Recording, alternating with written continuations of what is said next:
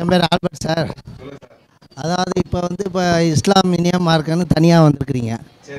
அது எப்படி எதனால் வந்தது? இப்போ முத முன்னாடி வந்து எல்லாமே ஒன்றா இருந்தீங்க ஒரே தொழுகை எல்லாம் பண்ணிட்டு இருந்தீங்க. இப்போ தனி பிரிவாக வந்திருக்குல்ல. இப்போ எங்கள் இதில் வந்து ப்ராட்டஸ்டாண்ட் பெந்தோஸ் அது மாதிரி உங்கள் இதில் இப்போ ரெண்டாவது இது தனியாக வந்திருக்குது. அது எதனால் வந்தது? இப்போ இந்த தௌகியத்துன்னு வந்திருக்குல்ல இப்போ இவங்களாம் ஓப்பன் பண்ணியிருக்காங்க அவங்க என்ன கேட்குறாங்கன்னா உங்களில் சில பிரிவுகள்லாம் வருத அது ஏன் அப்படின்னு கேட்குறாங்க அதாவது இப்போ நாங்கள் வந்து இஸ்லாத்தை சொல்கிறோம் நாங்கள் எதை சொல்கிறோம் அப்படின்னு கேட்டால் குரானில் என்ன சொல்லப்பட்டிருக்கிறதோ அதை நான் சொல்லுவேன். நபிகள் நாயகம் இஸ்லாம் என்று எதை சொல்லுகிறார்களோ அதை நான் சொல்லுவேன். இது வந்து என்னன்னு கேட்டால் இதுதான் இஸ்லாம். நான் யார் எங்களுடைய ஜமாத்து என்னன்னு சொன்னால் இஸ்லாத்தை எடுத்து சொல்லக்கூடிய ஒரு அமைப்பு. மனிதர்களால் உருவாக்கப்பட்ட அமைப்பு தான். நபிகள் நாயகம் எதை இஸ்லாம்னு சொல்லியிருக்கிறார்களோ குரான் எதை இஸ்லாம் என்று சொல்லுகிறதோ அதுதான் இஸ்லாமே தவிர பின்னால் இஸ்லாத்தை யார் வேணாலும் சொல்லலாம். எந்த மனிதர்கள் வேண்டுமானாலும் சொல்லலாம்.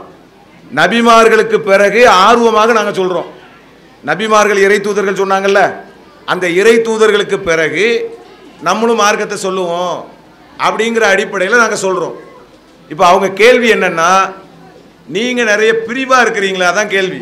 ஏன் பிரிவாக இருக்கிறீங்கன்னு? அப்போ இஸ்லாம் வந்து பிரியாது. நபிகள் நாயகம் சொன்ன மார்க்கம் பிரியுமானா பிரியாது. அது வந்து சிலபஸ் அப்படியே தான் இருக்கும். பாடத்திட்டத்தில் எந்த விதமான எரரும் வராது. எந்த விதமான பிழையும் வராது. அதில் எந்த விதமான பிரிவும் வராது. அது நபிகள் நாயகம் எதை இஸ்லாம் என்று சொன்னார்களோ அதான் இஸ்லாம். குரான் எதை இஸ்லாம் என்று சொல்லுகிறதோ அதான் இஸ்லாம். சொல்லக்கூடிய எங்களில் ஏன் பிரிவு வருது அப்படின்னு கேட்டால் இப்போ நாங்கள் தமிழ்நாடு தகு ஜமாத்துன்னு போடுறோம். இதை ஏன் போடுறோம் அப்படின்னா நம்ம வாழக்கூடிய இந்தியா இருக்கு பாருங்க. அங்கே வந்து சில சட்டத்திட்டங்கள் இருக்கிறது. இப்போ நீங்கள் வந்து ஒரு மசூதி வாங்குறதா இருந்தால் சும்மா வாங்க முடியாது. நீங்கள் ஒரு ஆஃபீஸ் பிடிக்கிறதா இருந்தால் சும்மா பிடிக்க முடியாது. ஒரு மீட்டிங் வைக்கிறதா இருந்தால் கூட சும்மா செய்ய முடியாது. அவங்க என்ன கேட்பாங்க? நீங்கள் யார்? எந்த அமைப்பு? உங்கள் தலைவர் யார்? உங்களுக்கு செயலாளர் யார்? யார் பேரில் ரிஜிஸ்டர் பண்ணணும்? எந்த நீங்கள் எந்த பைலாப்படி சட்டத்தை வச்சுருக்கிறீங்க?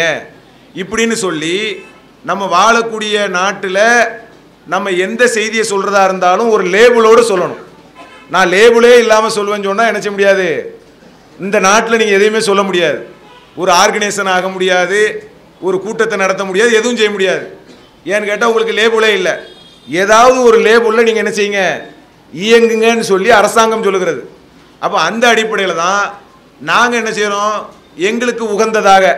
தமிழ்நாடு தௌஹீத் ஓர் இறை. தௌஹீத்னா ஓர் இறை. ஓர் இறை ஓர் கடவுள் கடவுள் ஒருவனே. அப்படியான வாசகம் தான் அதனுடைய அர்த்தம். அப்போ அந்த மாதிரி சொல்லி ஜமாஅத்து அது ஒரு அமைப்புன்னு சொல்லி நாங்கள் பெயர் வைத்திருக்கிறோம். அப்படின்னா தான் ரிஜிஸ்டர் பண்ணுவாங்க. அப்படின்னா தான் நிகழ்ச்சி நடத்த விடுவாங்க. இஸ்லாம் அப்படின்னு சொல்லி ஒரு ஜமாத்தை சொன்னோம்னு சொன்னால் எல்லாரும் சொல்லுவாங்க நானும் இஸ்லாம். என் பேரில் ரிஜிஸ்டர் பண்ணும்பாங்க. அவங்க இஸ்- இஸ்லாம்னு சொல்லி அவங்க ஒரு பேரில் என்ன ரிஜிஸ்டர் பண்ணும்பாங்க. அந்த மாதிரி பஞ்சாயத்து வருங்கிறதுனால நாங்கள் இந்த உலகத்தினுடைய வசதிக்காக ஒரு அமைப்பாக இருக்கிறோம். இஸ்லாம் என்பது நபிகள் நாயகம் சொன்னதும் குரான் சொன்னதுதான் இஸ்லாம். அமைப்புகள் என்பது இஸ்லாத்தை எடுத்து சொல்லக்கூடியவர்களாக இருப்பாங்க. இப்போ நாங்கள் எடுத்து சொல்கிறோம் அப்போ எங்கெல்லாம் ரெண்டு பேர் வேறு அமைப்பு உருவாக்குறாங்கன்னா அது நம்ம ஒன்றும் செய்ய முடியாது. ஏன்? நாங்கள் மனிதர்கள் தானே. நாங்கள் அமைப்பு தானே நடத்துகிறோம் ஒரு அமைப்பு நடத்தக்கூடியவங்க சண்டை போடுவாங்க முன்ன பின்ன இருப்பாங்க பிரச்சனை வரும். அதெல்லாம் வராதுன்னு சொல்ல முடியுமா? பாடத்தில் கை வைக்க முடியாது. ஒரு ஒரு பள்ளிக்கூடத்தில் ஒரு பாடம் நடக்கிறது. ஆசிரியர் பாடம் நடத்துகிறார். நடத்தும் போது ஆசிரியருடைய பாடத்தில் எந்த விதமான மாற்றமும் வராது. கற்கக்கூடிய மாணவர்களில் ஒருத்தர் ஒன்னாரங்க எடுப்பார் ஒருத்தர் கோழி முட்டை எடுப்பார். அப்போ கோழி முட்டை எடுத்தவர் நான் ஊருக்கு போகிறேன் வெளிநாடு போகிறேன் கிளம்பி வருவார். ஒன்னாரங்க எடுத்தவர் நல்லா பாடம் சொன்னாங்கன்னு உட்காந்து கவனிச்சிட்டு இருப்பார். அப்போ நடத்தக்கூடிய மாணவனுடைய தரத்தை பொறுத்தது. பாடம் அதுக்கு என்னவாகாது? பொறுப்பாகாது. அதே மாதிரி இஸ்லாம் என்பது யாருக்கும் பொறுப்பே இருக்காது நாங்கள் அதை பின்பற்றுகிறோம் சொல்லுகிறோம் என்ற அமைப்பாக மனிதர்களாக நாங்கள் உருவாக்கி கொண்டோம். எங்களில் ஒரு சில ஏற்றத்தாழ்வுகள் இறக்கங்கள் வரலாம். அதில் சில பிரிவுகள் வரலாம். அது இஸ்லாத்தை என்ன செய்யாது? ஒரு காலம் பாதிக்காது அது இஸ்லாமும் கிடையாது. அல்லாஹ்!